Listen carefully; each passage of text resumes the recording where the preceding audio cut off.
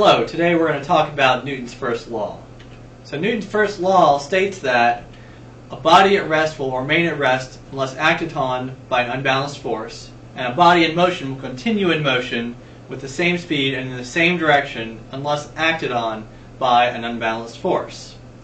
So with this, it's the force that's the key to, key to this change. So it's going to either stay at rest without a force, or it's going to stay in motion without this force.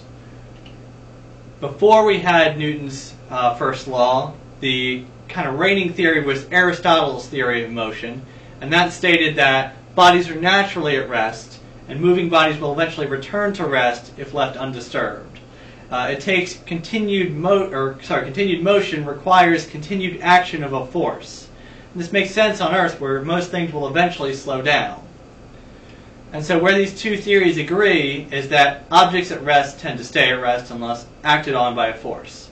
So if we've got something like this rock, it tends to just sit there unless we put a pretty significant effort into moving this rock. Where they differ is what happens to these bodies in motion. So according to Newton, they'll stay in motion unless we have this force acting on it. Uh, and according to Aristotle, eventually everything will come back to rest. So friction is the key to this difference. Friction is a force that's constantly opposing motion. And so on Earth, where we've got lots of friction, uh, this force is causing the change in acceleration, or sorry, change in velocity, bringing objects back to rest.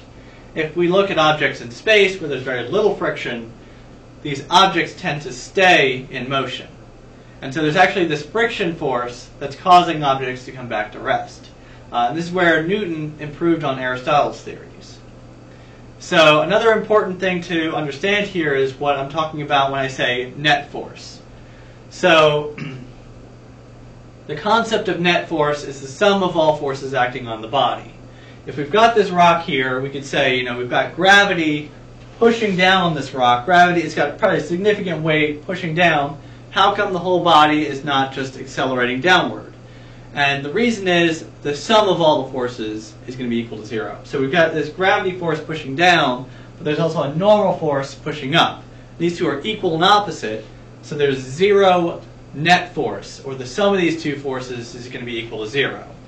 And we require a non-zero net force to change the velocity of the body. So similarly, we could have this book sitting here, and it's got a zero net force on it. So it's got some weight pushing down, uh, and I've got a normal force from my hand pushing it up.